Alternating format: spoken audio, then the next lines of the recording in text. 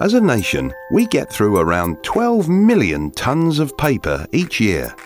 Recycling paper and card reduces energy use and CO2 and diverts paper waste from landfill where it rots and produces harmful greenhouse gases. Paper mills make a variety of papers from different recycled material. To start the recycling process, paper and card is collected, sorted and graded.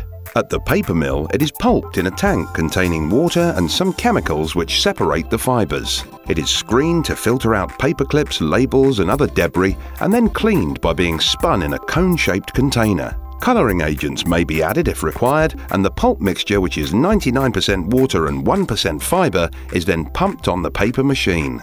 It is sprayed onto a fast-moving mesh which forms the sheet and removes much of the water. The paper is then pressed to remove more water before passing through a series of large heated rollers until the correct moisture content and thickness levels are achieved, and is then wound onto huge rolls.